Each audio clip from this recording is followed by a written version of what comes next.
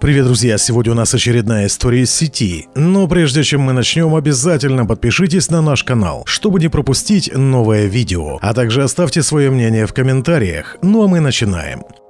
Один папа поделился историей на странице в Фейсбуке. Он гордится поступком своего сына. Отец и 12-летний сын заправляли машину и случайно заметили пожилого человека, который с трудом пытался залить топливо в свой автомобиль. Мальчик взглянул на отца и, не говоря ни слова, выскочил из машины. Отец с удивлением наблюдал, как сын подошел к старику, что-то ему сказал, и тот без колебаний передал заправочный пистолет мальчику. Помощь этим не ограничилась. Он даже пошел на заправочную станцию, чтобы забрать и принести сдачу для пожилого человека, написал гордый отец. Когда пожилой мужчина попытался отблагодарить юного помощника деньгами, мальчик вежливо отказался и вместо этого тепло обнял его. Мой сын сделал все это сам, без подталкивания с моей стороны, не сдержал слез радости отец. Пост получил ошеломляющий отклик. Собрав более 90 тысяч лайков, более 7 тысяч репостов и много хвалебных комментариев. Спасибо, что поделились этой душевной историей. Я знаю, что вы гордитесь своим сыном. У вас есть все основания. Что ты делаешь для других, ты делаешь для Бога. Спасибо, молодой человек. У моего отца деменция. Однажды он приехал на заправку и просто забыл, как заправлять машину. Да благословит Бог вашего сына за помощь этому старику. Хвала вам за то, что так воспитали сына, чтобы он был уважительным, отзывчивым молодым человеком. Чтение вашего поста вызвало слезы на моих глазах и заставило улыбнуться. Спасибо.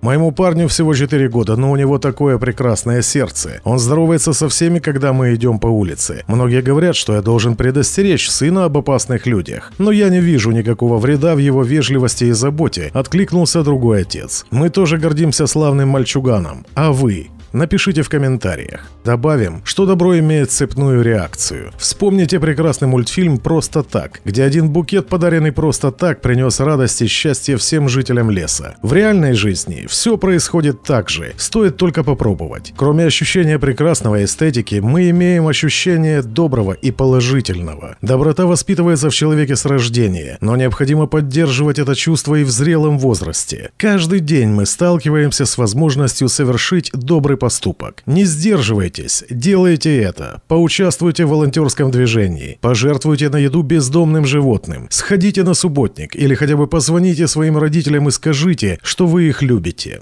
Может, это и не спасет мир от зла, но небольшая капля вашего добра хоть на частичку сделает этот мир лучше и светлее. Впускайте добро в свою жизнь, так же, как вы впускаете солнечный свет в свою комнату. С добром жить намного приятнее и комфортнее. Всем, без исключения. На этом я с вами прощаюсь. Подписывайтесь на наш канал, жмите на колокольчик, а также не забудьте перейти на наш сайт Остроумно, странички в Инстаграм и Фейсбук. Ссылки в описании.